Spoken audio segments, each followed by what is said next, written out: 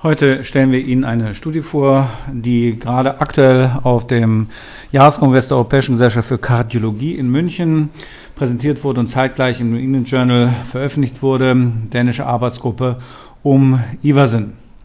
Es geht hier um die partielle orale antibiotische Therapie bei Patienten mit Endokarditis.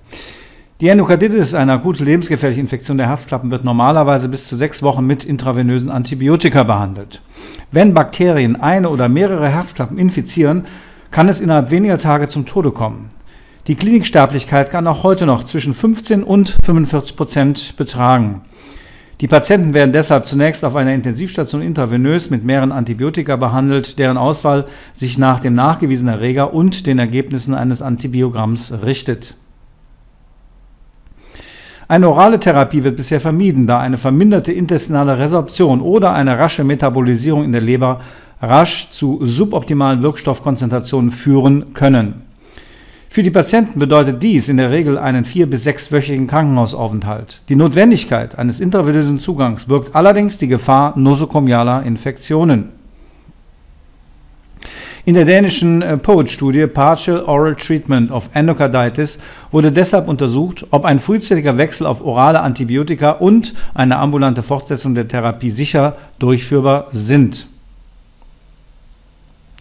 Die Patienten größer gleich 18 Jahre mussten nach einer wenigstens zehntägigen Antibiotikatherapie seit mindestens zwei Tagen affebril sein, Temperatur unter 38 Grad Celsius und das C-reaktive Protein musste auf weniger als 25 Prozent des Spitzenwertes gefallen sein.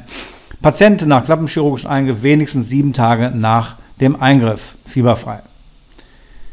Die Leukozytenzahl dürfte nicht mehr als 15.000 Ml betragen. TTE zeigte keine Abszessformation, Patienten klinisch stabil. Zugelassen waren zudem nur, Patienten mit einer Endokarditis im linken Herzen, Aorten und oder Mitralkappe, die mit einer der vier folgenden Bakterien infiziert waren. Es konnten auch Patienten nach mechanischem äh, oder prothetischem Klappenersatz eingeschlossen werden. Folgende Bakterien: Streptokokken, Enterococcus fecalis, Staphylococcus aureus, Koagulase, negative Staphylokokken. Patienten mit Verdauungsstörungen oder Krankheiten, die die intestinale Resorption der Antibiotika vermindern könnten, waren von der Teilnahme an der Studie ausgeschlossen. Die Randomisierung erfolgte 1 zu 1 ähm, in Fortführung intravenöse Antibiose und äh, Wechsel auf orale Antibiose. Nach Randomisierung musste die verordnete Antibiotikatherapie für mindestens zehn Tage weiter verabreicht werden. Patienten der IV-AB-Gruppe blieben im Krankenhaus, Patienten der oralen AB-Gruppe wurden ambulant behandelt und zwei bis dreimal pro Woche reevaluiert. Primärer Endpunkt, Kombination Sterblichkeit, alle Ursachen, ungeplanter herzchirurgischer Eingriff, embolische Ereignisse, erneute Bakteriämie mit dem primären Pathogen bis sechs Monate nach Randomisierung. Hier die Ergebnisse. Von 1954 Patienten, die über einen Zeitraum von sechs Jahren an acht dänischen Zentren behandelt wurden, wurden 400 für die Studie zugelassen. Die Antibiotikatherapie wurde in der intravenös behandelten Gruppe im Durchschnitt noch 19 Tage und in der oral behandelten Gruppe noch 17 Tage fortgesetzt. Im Supplement äh, des New England Journals äh, finden Sie auch für die einzelnen äh, Bakterienarten die vorgesehene orale Therapie und Zusammensetzung der Kombinationstherapie.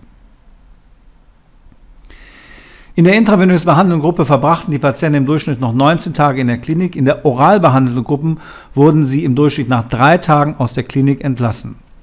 Zwischen der Randomisierung und einer Nachuntersuchung sechs Monate nach dem Ende der Antibiotikabehandlung kam es in der intravenös behandelten Gruppe zu 13 Todesfällen gegenüber nur sieben Todesfällen in der oral behandelten Gruppe. In beiden Gruppen wurde bei jeweils sechs weiteren Patienten eine ungeplante Herzoperation erforderlich. Jeweils drei Patienten erlitten ein embolisches Ereignis und bei jeweils fünf Patienten kam es zu einem Rezidiv mit dem gleichen Erreger.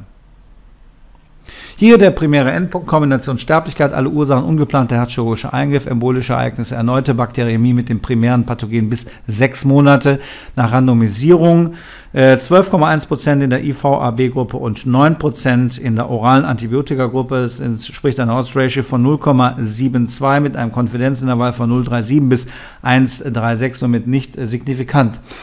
Die Zwischengruppendifferenz betrug 3,1 Prozent mit einem äh, Konfidenzintervall von minus 3,4 bis 9,6 Prozent, somit unter 10 Prozent. Äh, somit konnte statistisch der Nachweis der Nichtunterlegenheit der oralen Antibiose im Vergleich zur intravenösen Antibiose nachgewiesen werden.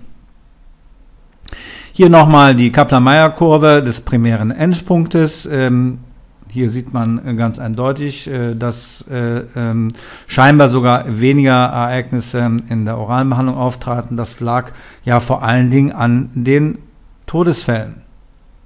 Hier sehen wir das nochmal.